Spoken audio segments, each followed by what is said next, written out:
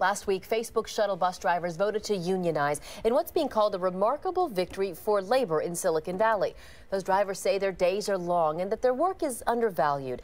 In tonight's special report, KTVU's David Stevenson learned what led up to the vote and why it may prompt a change in business for some tech companies. The workday begins around 5 a.m. and sometimes ends 16 hours later. It's a lot of stress on your body and lot of stress from your family too because you don't really spend that much time with them. Uh. Jimmy Marina is a loop transportation bus driver. Each weekday before dawn, he pilots a 40-foot bus from San Carlos up the peninsula to San Francisco to ferry Facebook employees from their neighborhoods to the company's Menlo Park headquarters and back again in the early evening.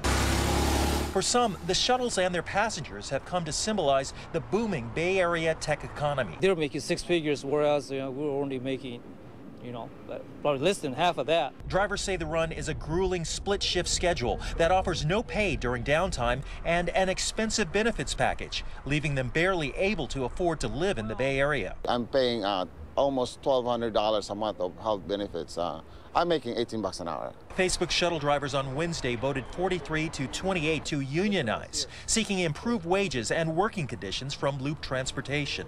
It's one of the first times that a group of service workers in Silicon Valley have had an election conducted by the National Labor Relations Board that has resulted in union representation.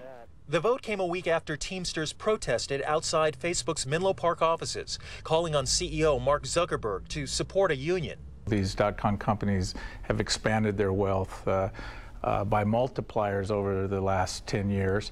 The people that service them have not. Today is a brighter day for all the bus drivers within the high-tech system. With benefits factored in, the CEO of Loop Transportation says drivers actually make 24 to $31 an hour. We didn't feel that our drivers' interests were best served by the union representation. However, um, with due respect to the drivers, they have spoken and will now cooperate fully with the union. But union activists say look for similar votes ahead among Google, Genentech, and Apple shuttle drivers. We've heard from drivers from all the rest of the companies that contract to the, the various .com. So I think we've got a movement going rather than a one-time organizing drive.